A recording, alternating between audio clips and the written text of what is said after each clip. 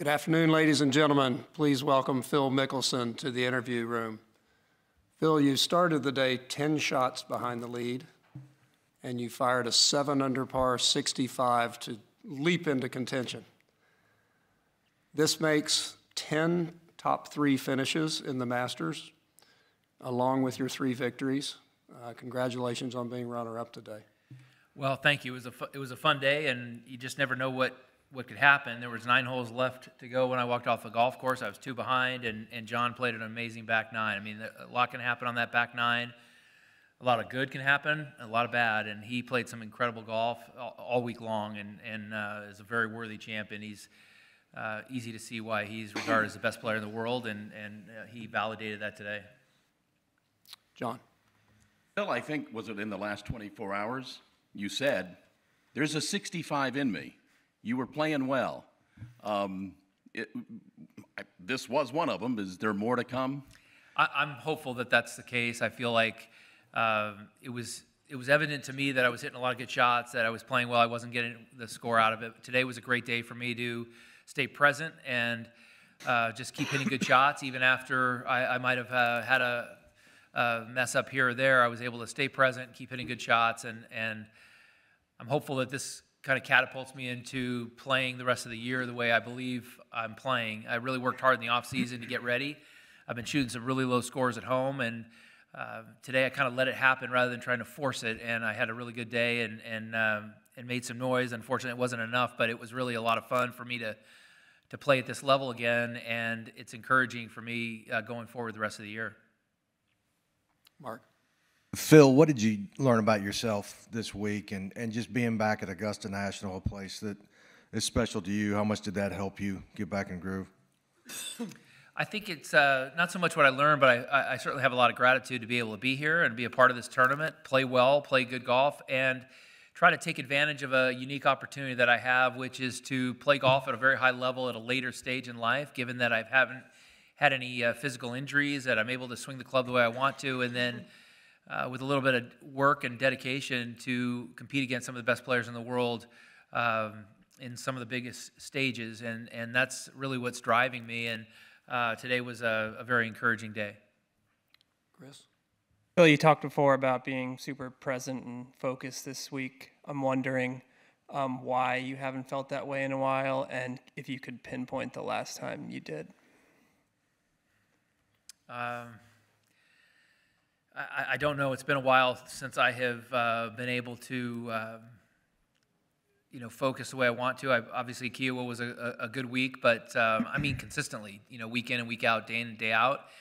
And it's starting to come. A lot of it uh, is just things that I need to do off the golf course too. You know, diet, exercise, and so forth, and to help with uh, brain function and things like that. But um, uh, you know, I additives in coffee is a big thing for me. I don't think things I eat on the golf course are a big thing. Like all those things factor in. And um, my brother did a great job on the bag this week when my focus was kind of waning. He would tell me some stories, tell me some some dad jokes, and just kind of got me uh, refocused and more present. And again, I think that's a big biggest challenge for me lately because I feel like I'm executing uh, a lot of shots, but I just need to be a little bit more present. David. Yeah, Phil, I wonder if, over, Phil, just uh, real quickly, the clubs at 6 and 17, which were both particularly good shots. Thank you. The shot on six, I drove an eight iron. It was, uh, I think it was with the downhill playing 169, and we had a little bit of hurt, but I try to hit a kind of a what I call flattening the apex of an eight iron, so it flies in flat, and it just uh, drove in there and stuck a couple of feet, which was really nice. And then 17, I ended up hitting a seven iron. Um, and just kind of held it a little bit in that left to right wind and then let it fall to the right, and it, it almost went in. Um, those were those were some good shots. Thank you, Gary.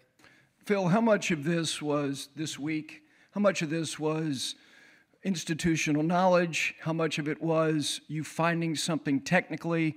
And how much was it of you responding to this environment which you've always responded to? I don't think it was so much technical because I feel like I've been actually hitting shots like this for, for quite some time. For, uh, but what was happening was a lot. Thursday was the epitome of what happened. I hit a lot of great shots. I had a chance to turn a 66 and I'd turn it into 71 because I'd make uh, two or three loose swings. And uh, but technically, I've been playing and performing really well, but I would just have these few lapses. And um, I think when you come here to Augusta, you end up having this sense of, of gratitude. It's hard not to. Like this is what we strive for, and there's a, a kind of a calm that comes over you. The fact that we get to play and compete in this Masters, and and I think we've all been very appreciative of that. And um, I know after missing last year to be here this year, it uh, it means a lot to me, and it means a lot to me to be a part of this tournament going forward. I love I love everything about this because it's what I dreamed of as a kid to be a part of, and uh, I've got so many great memories wrapped up uh, here at Augusta. Joy. Phil, you and your brothers have been mentor to Jon. Uh, did you see a major champion or a Masters champion in him when you started talking to him first? And uh, just just tell us about what you thought of his performance over here. My brother Tim was his college coach for four years there at Arizona State. The first time I played with him, we played Whisper Rock. He shot 62, and uh, I thought thought I played pretty good, and he he gave me a pretty good beatdown. So I, I am not surprised at his success. I mean, it was obvious to me at a very young age that uh, he's one of the best players in the world, even while he was in college. And to see him on this stage is not surprising to anybody, but um, it's hard not to pull for Jon too. You know, he's such a good guy. He's got such a great heart. He treats people so well that uh, I, I think the world of him as a person and as a player. That's obvious how good he is. Paul. Phil, uh, with some of the you know kind of blows of the last two years to your reputation and image, I, I don't know if you do you feel like this performance over these four days and the fans seeming to kind of warm to you a bit again. Do you feel like this is a step forward to kind of restoring some of the damage or whatever the right word is of the last two years? And, and did you feel like you were carrying the mantle? They're separate issues. Golf and the um, and the professional golf ecosystem and how that's been uh, handled throughout my career. Two totally separate things. Did you one follow up? Did you feel like uh, kind of carrying the mantle though for for LIV? Uh, you know, with Brooks was up there, and then you you kind of get in contention. Do you was there a little bit of competition with the the other the guys from the other tour? I, I wouldn't uh, look. I wouldn't look at it like that. I, I, I uh, am very appreciative that we're here, that we were able to play in the majors, and I thought it was exciting that this tournament rose above it all to have the best players in the world here and, and, and lost all the pettiness. I thought that was great. I'm happy with where I'm at. I wanted something different um, for a lot of reasons, and I'm getting a lot out of it because as a having a team environment when I was in high school and college golf, it elevated my game. Having play, players to play with, compete with, it brought a great energy and excitement, and that's what uh, this is doing for me at LIV. I'm not saying it's for everybody, but it's been awesome for me, and I love it. And um, I'm excited to go go play in Australia, but I don't want to. This shouldn't be. This tournament isn't about where what tour you play from. There's players from all over, uh, many, all over the world, many different tours, and you're bringing the best players against to play against each other here in the majors, and that's what it's all about, and that's what um, the game of golf should be. I mean, there's always going to be and should always be a place for historical events like this, but it's okay to have a little bit of uh, different and variety. Uh, in, in, the, in the game of golf. Adam. Phil, you just mentioned Australia there. As happy as you are with your performance this week, I'd imagine you don't have much time to rest. You need to get on a plane, get down to Australia next week. How rejuvenated do you think you'll be for that event down in Adelaide, and, and what sort of reception do you think you'll get down in down there?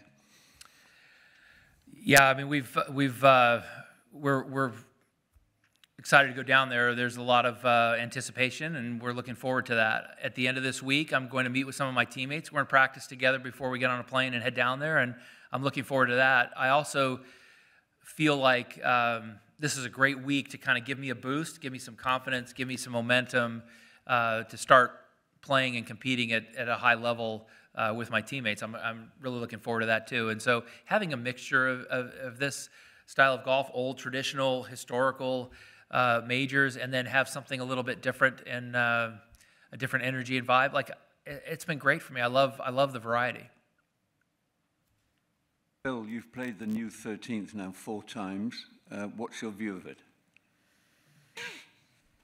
Um, yeah, I think it. I think it played kind of the way they wanted it to. Um, I think it played the way they wanted it to. So, you know, we were hitting a lot longer shots in. Um, probably could extend the tee a little bit for days like yesterday when when uh, it's wet and into the wind, and you would still have an option to maybe go for it because I think just about everybody lay, had to lay up. But um, you don't really need to do anything different. I think it played the way it was intended. Don't sound as though you liked it, though.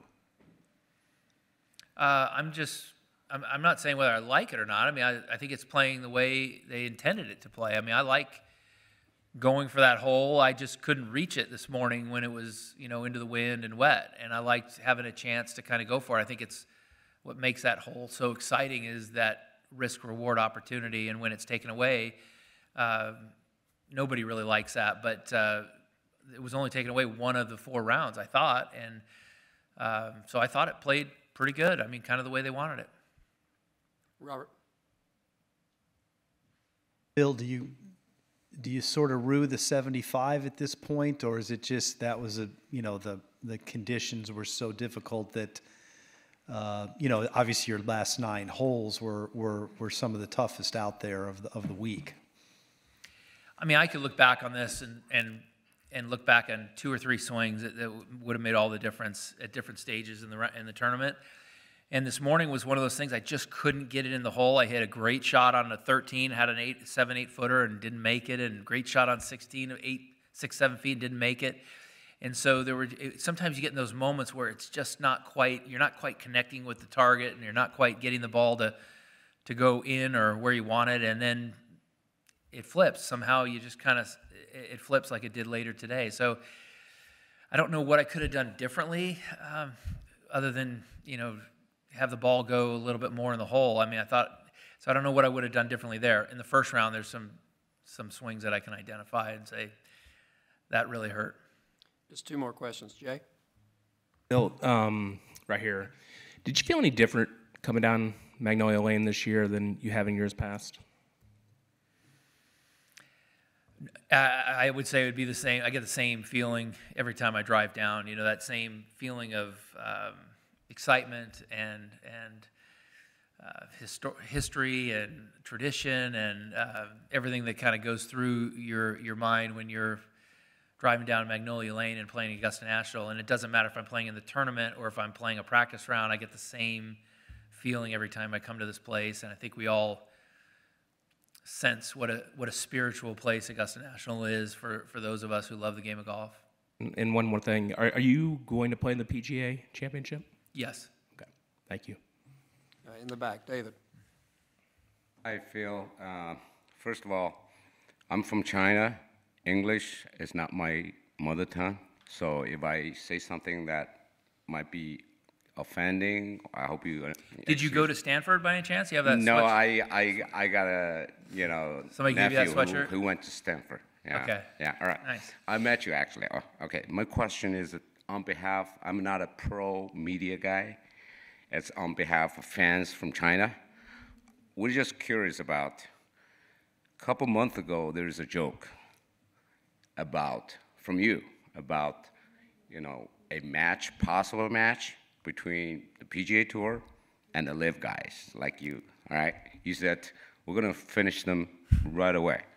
And is that kind of a joke, or It, it you, was just you a really joke. mean it? yeah, I was just trying to be funny. Okay, thank you. Uh, And congratulations on this fabulous finish. Thank and you. You're amazing out there. Thank you. Thank One, one more question, Ann. Hey, Phil, can you talk about the key to your longevity and staying injury free?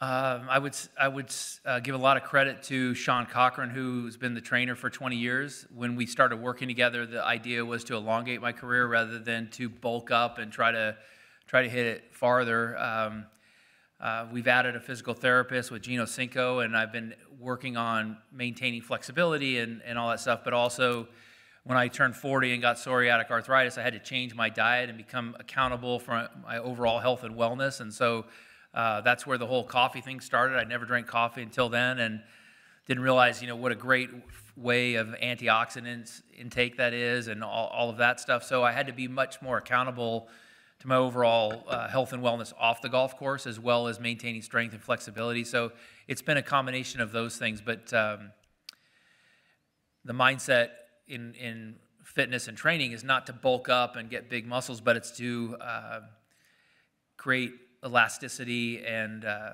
flexibility. Well, Phil, with a 31 on the second nine and a 65 today, it was certainly working. Thanks, guys. Have a good day. Thank you. Happy Easter.